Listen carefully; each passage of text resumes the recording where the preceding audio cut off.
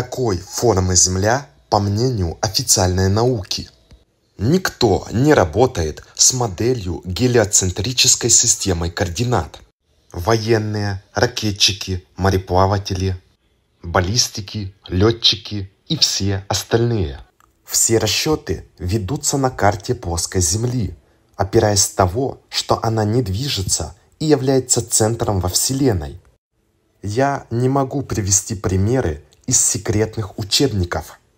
Зато в гражданских учебниках полно таких указаний. Перед вами официальный учебник от НАСА.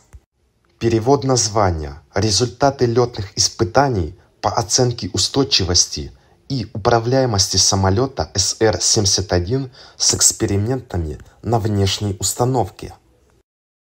На 11 странице написано «Плоская, не вращающаяся Земля».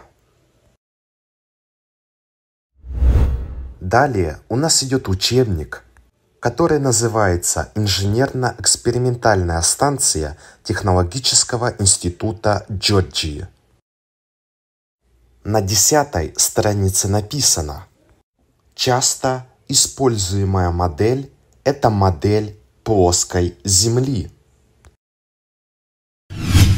Вот еще один пример на английском языке от компании NASA – Данный документ называется «Определение углов атаки и скольжения по данным радиолокации и платформы, стабилизированной по крену».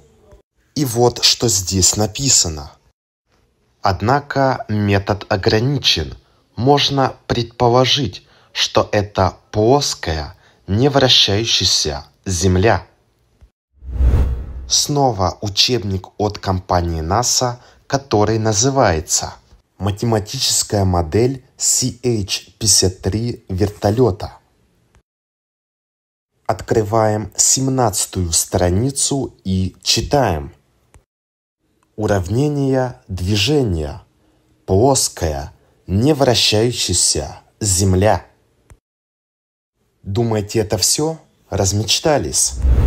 Очередной учебник от НАСА, который называется Техническое примечание. Полное название вы видите у себя на экране. Открываем седьмую страницу и что же мы видим? Здесь пишется плоская, не вращающаяся Земля. Полную версию читайте сами. Теперь перед вами учебник на русском языке, который называется «Баллистическое проектирование ракет». На шестой странице, глава первая, параметры. Считается, что Земля плоская, не вращается.